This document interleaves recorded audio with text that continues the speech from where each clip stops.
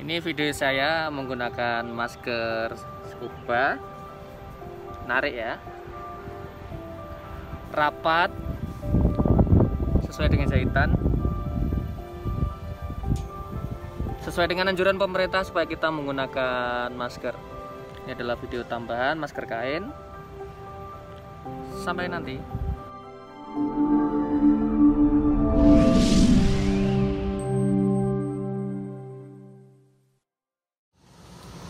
Assalamualaikum warahmatullahi wabarakatuh.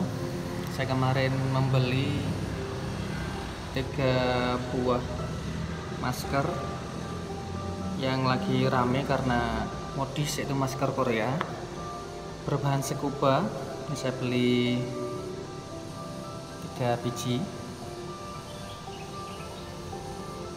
Karena masih baunya bau produksi ya jadi saya akan cuci dulu nanti setelah dicuci rencana saya akan keringkan kemudian saya akan tes apakah yang dibilang dengan material scuba itu harusnya dia tahan air.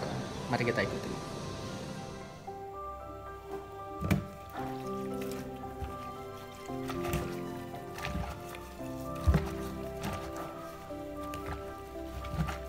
Ini saya cuci untuk menghilangkan pewarna.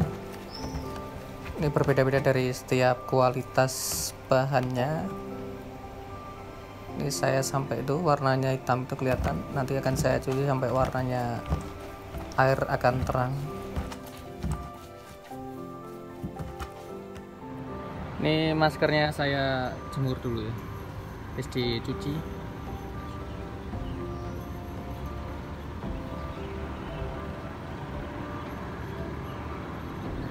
nanti lodas kering kita basahi lagi dengan tujuan untuk pengetesan. Oke sampai nanti. Oke jemurannya sudah kering ya. Sekarang kita akan mencoba menguji. Perlu saya beritahukan bahasanya uh, bisa taruh di kantong bentar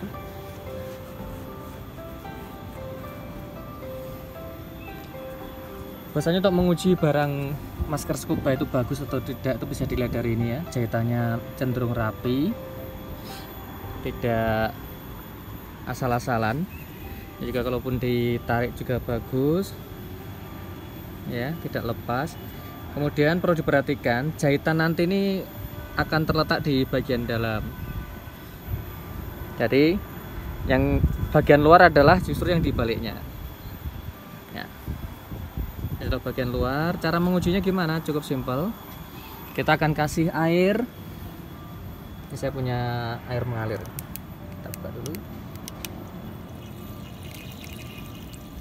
Coba aja. Oke ya. Ini. Nah. Kelihatan seperti basah. Tapi kita akan periksa di dalamnya di dalamnya akan tetap kering. Jadi itulah cara untuk mengetes scuba atau masker scuba. Semakin bagus bahannya maka akan semakin mahal.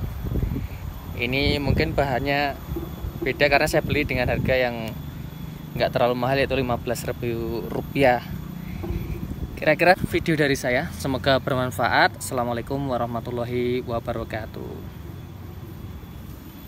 Saya tadi udah salah. Jangan lupa like, share, dan subscribe.